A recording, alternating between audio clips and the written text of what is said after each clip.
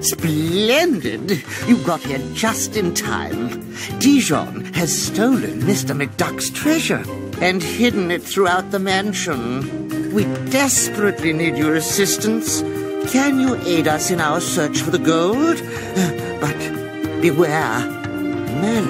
Has placed a spell over the entire estate, flipping rooms around so that one exit may lead back to the same room, where you'll have to search for the treasure again.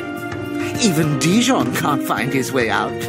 Once you find a piece of the hidden treasure in each room, choose an exit to the next room.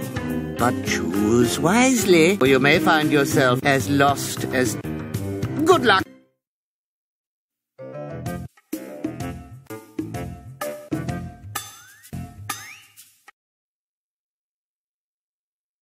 To play again, please select the replay icon. Or, if you wish to exit, please select the X.